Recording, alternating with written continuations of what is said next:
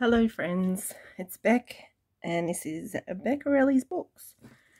Welcome back and today I am participating in a collaboration. It's called Flea Market Journal Challenge. Uh, that's the hashtag and it's an open collaboration hosted by Sheree from Turquoise Dreaming, Maria from Maria's, um, uh, how do you say that? Miss Kalani? Miss, yeah, something like that. It's M-I-S-C-E-L-L-A-R-Y. Uh, and Susan from Susan Hiles Art. Uh, they are really talented ladies and you should definitely check out their channels. There are 12 other participants so far that are tagged under the videos. Um, I'll see if I can, I'll tag the original video from Sheree that I saw and you'll be able to see all of the other participants that way. Or I just hashtag flea market. I've never done this before. It's a bit weird, but like weird that I've not done it before. Um, but I'll hashtag flea market journal challenge um, so the idea is to use items that you have either purchased from an op shop or flea market, um, secondhand items, received for free, um, or bought from a dollar store. So I'm in Australia and we really don't have a dollar store, so to speak. Our cheap shops um, aren't even that cheap anymore. But I have decided that at least the construction of my journal is going to be completely free. Um, so I work in an office and um, I actually work in a school, but in the office in a school. And this week I have collected all of the stuff from the mail um, that I think I'll be able to utilize, which I have been doing over time as well, but you could just collect so much.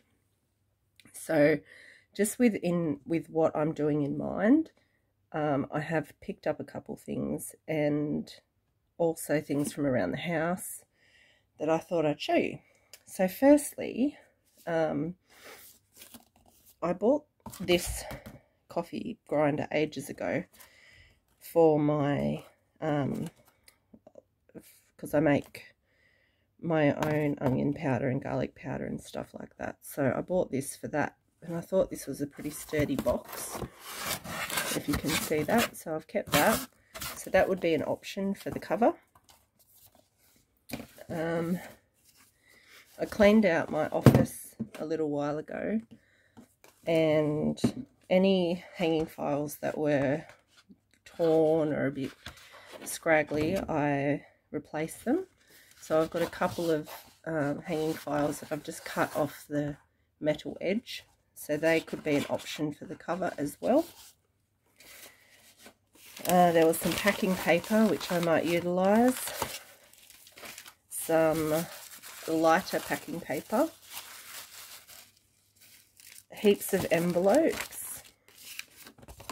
Big ones and small ones and window ones. Just a lot of mail. uh, more. There's also, just make sure I don't show you the address, uh, a packing bag, the plastic packing bag, which I thought I could maybe utilise uh, while I'm doing my hinges and things on my journal cover. I'm not sure about that yet, but I don't know if it'll glue very well. But I kept it to give it a go. Um, what else? Oh, I had to buy a new clock for my office because mine died. So I kept this because I thought, if you can see, sorry, my camera's a little bit close, but it's got a a two inch, it's a two inch edge on the box here, this bit. And I thought that might be useful. I could use this box as a journal cover and the spine's already done for me. Uh, I also got this, which came from Scholastic, if we remember, any Aussies know book club. This came with the book club, um, some paperwork. And it's got all of these already made spine kind of things. It's perforated, but it's not going to come apart. And I thought that might be good for um, a journal cover as well. So I kept that.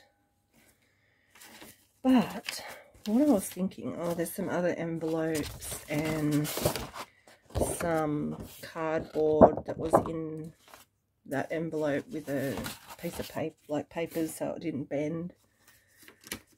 Um, some junk mail and some bubble wrap.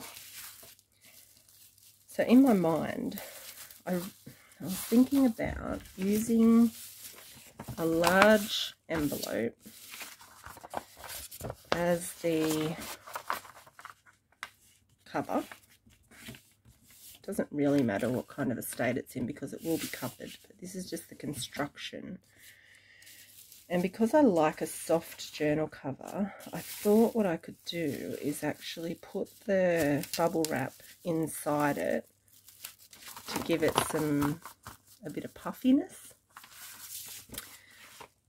Uh, so I'm thinking that that might be my first attempt. So what I what do I need to do? I just need to get a piece of this bubble wrap inside this envelope with my scissors that don't want to cut.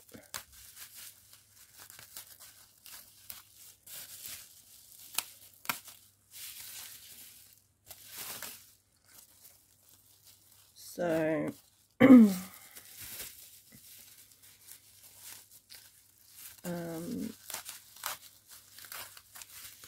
just open that up like that. And then I want to cut it to fit inside this envelope. The address. Oh well, doesn't matter.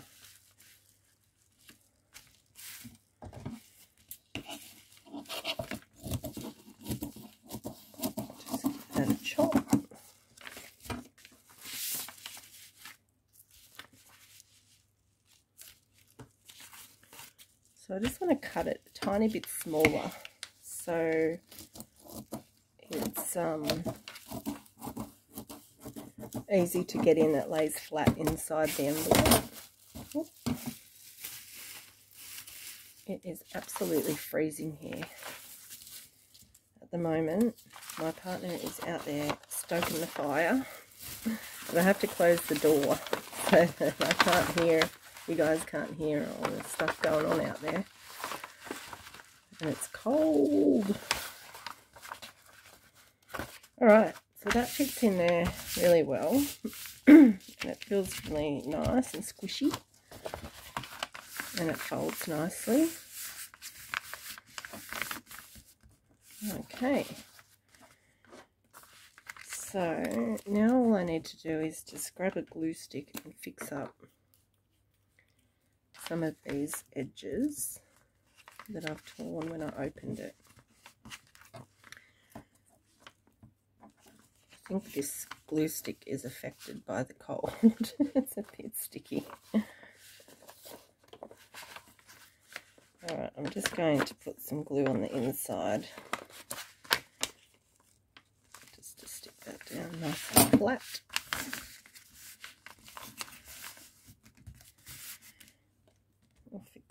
a little bit up.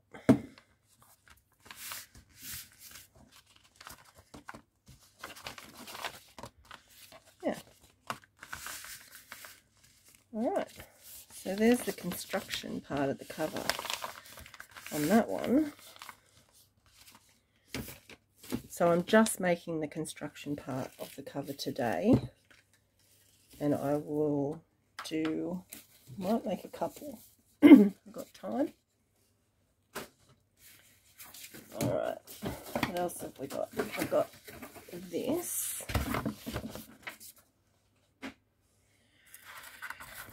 So this one, I think, I like the edge here. This as a spine because it's like two parts. So it will kind of be rounded. And I could actually just sew one signature into the middle. So I think I'm going to use that. That is almost five inches. What are we at? About five and three quarters of an inch. So I'll make that measurement over here.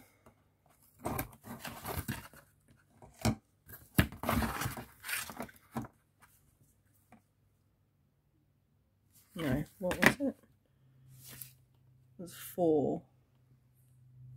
Four and three quarters.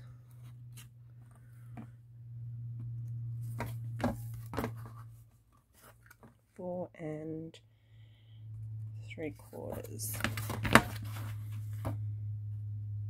And I'll just line, make a line down there so I know where to cut.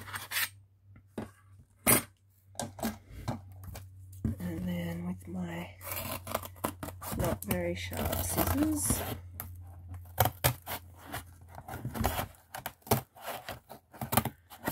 actually I think that I have, yeah I do, have an X-Acto knife thing, I think I'll use that instead, might be a bit easier. I'll get a nicer cut anyway.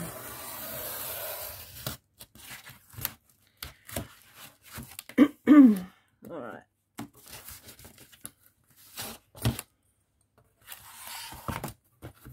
Alright, I'm having a feeling that I'm very close to the camera, but I've got the dodgiest setup. I'm using actually my painting easel. I've got you attached precar precariously there on the edge. So that extra bit there that I just threw down could actually be a whole nother one.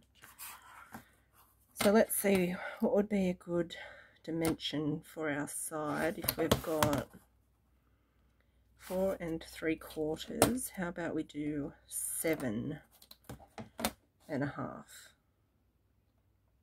I can always cut it down again if I want to, but I cannot add. So I think I'll make it seven and a half inches.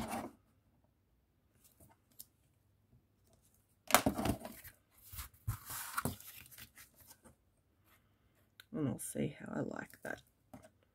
I can just cut it. I don't need to draw a line.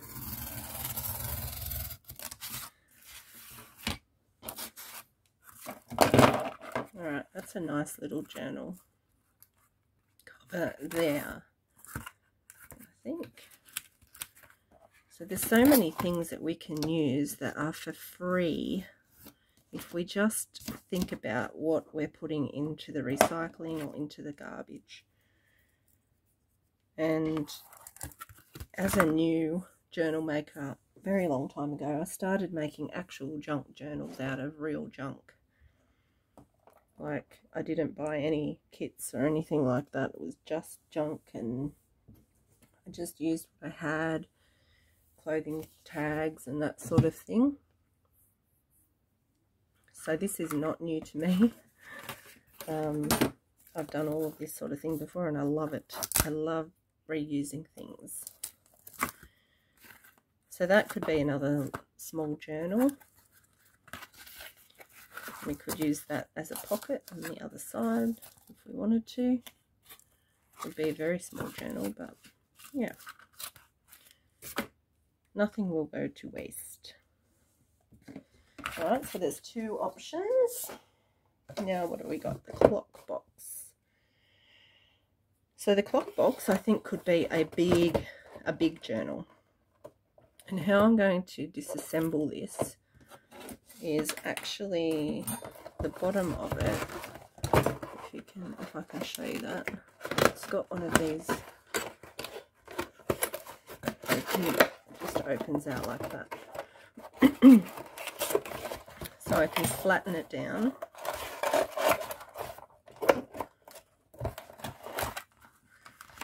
Like that. Okay, so I can measure the top. So when you're doing this, fold it so you can see your spine facing up. And then you can measure your top without having to open the whole thing up. Measure your top as wide as you would like it and I think this one because the height is nine I'm going to do uh, five and a half inches five and a half inches from the spine. And then I am literally going to cut through everything.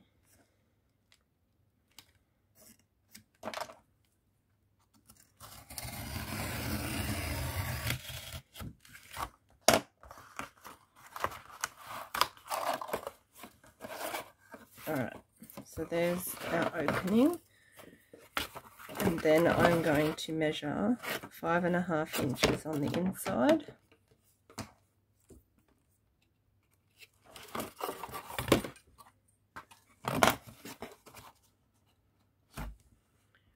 Five and a half. And I'm going to cut through everything, which is just one, just one side.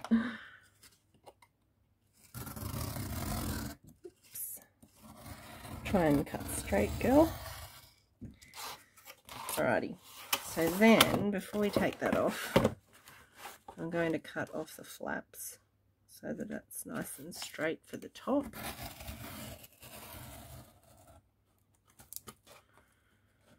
Oh, that didn't quite cut. What did I do wrong there? There we go.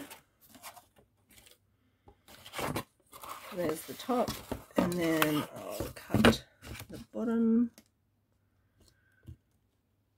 And this is cutting off the bottom of the box. Oh that's what's happening. It's dragging through that cover doesn't matter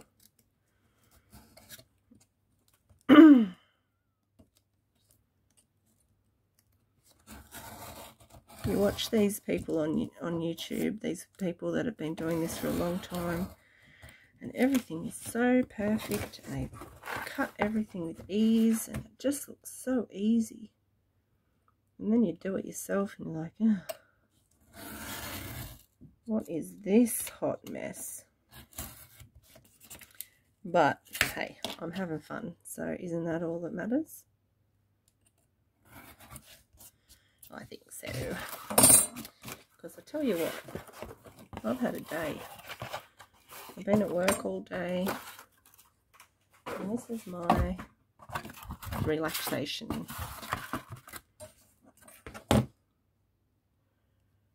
Alrighty, so I'm just going to cut this little tab thing off because I don't want it.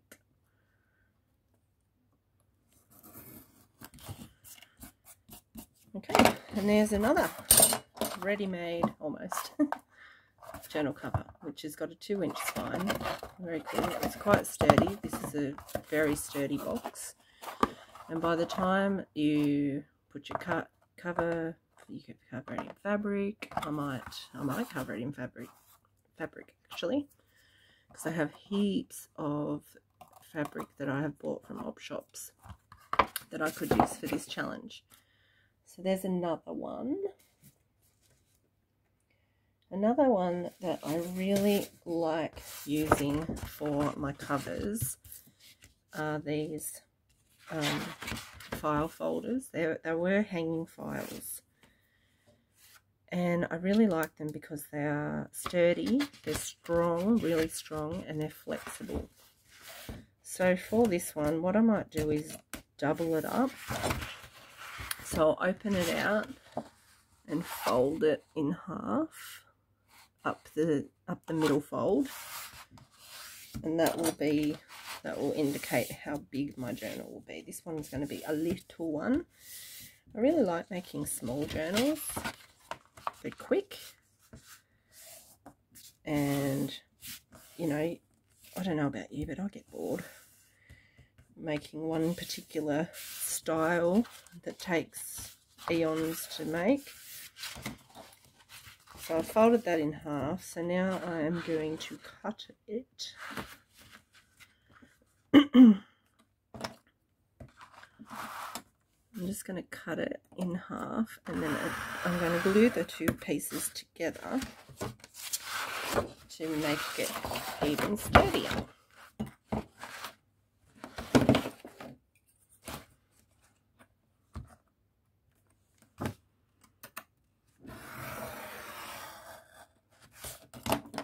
Donkey. There we go. And now I will make my width.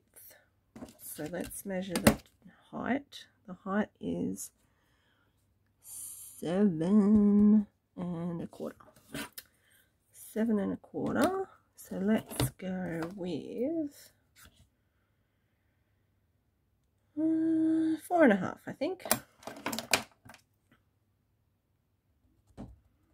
Because this one's not going to have a spine, it's just going to be a single.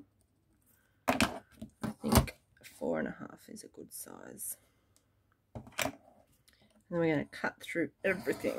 Ugh. Might have to do it twice because that's four pieces. Oh, three times. No, didn't get that either. Oh goodness, I think I might need to change my need my my needle my blade. I think it's a bit blunt. Anyway, job's done. And now I have all of these bits that I can make journal cards, I can make tags, I can make pockets, I can make all sorts. I can make teeny weeny journals. I can make lots of things out of those.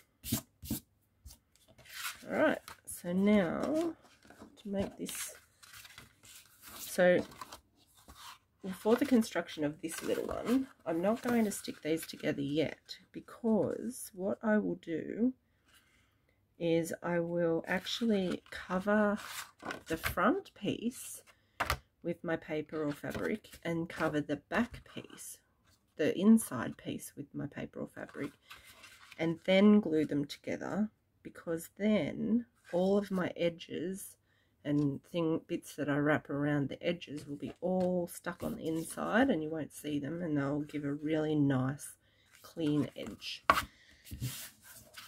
And because this collaboration challenge is over a, a month I think for the month of June you'll see I'm going to try and do all of them.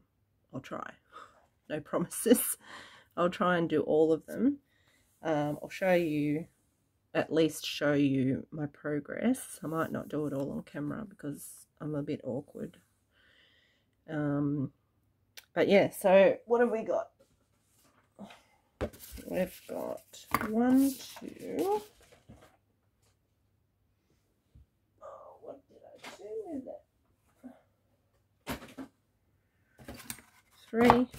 Oh. Four journals ready to go in 20 minutes. So we've got this soft one made out of a, a large envelope and some bubble wrap. We've got this big two inch spine hardcover made out of a pack, some packaging for a clock. We've got this one which came from a box that was um, sent books in.